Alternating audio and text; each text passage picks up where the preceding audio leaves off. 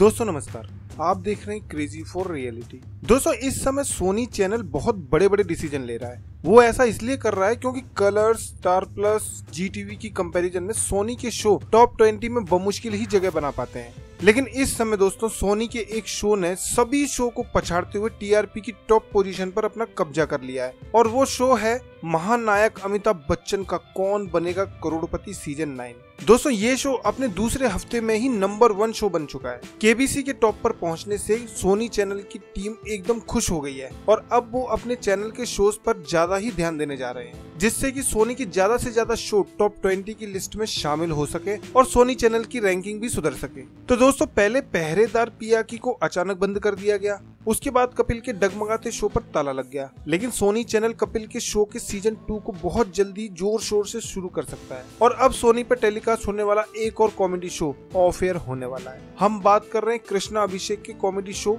the Drama Company की।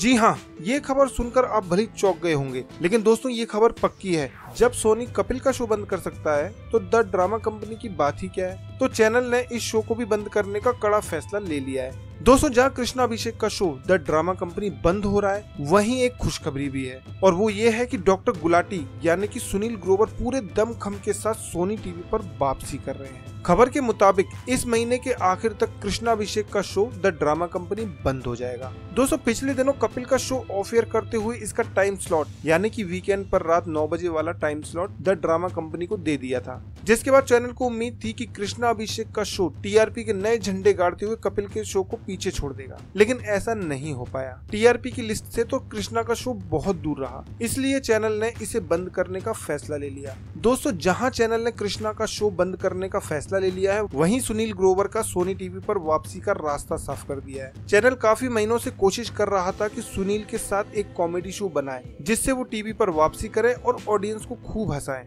इसीलिए उन्होंने सुनील के लिए एक नए कॉमेडी शो की प्लानिंग कर ली है। दोस्तों, अभी भी इस शो के नाम और कॉन्सेप्ट पर काम जारी है, लेकिन दोस्तों, इस शो के फॉर्मेट और डिटेल्स को काफ़ी सीक्रेट रखा जा रहा है। जब तक सब कुछ रेडी नहीं हो जाता, तब तक सस्पेंस बनाकर रखा हुआ है।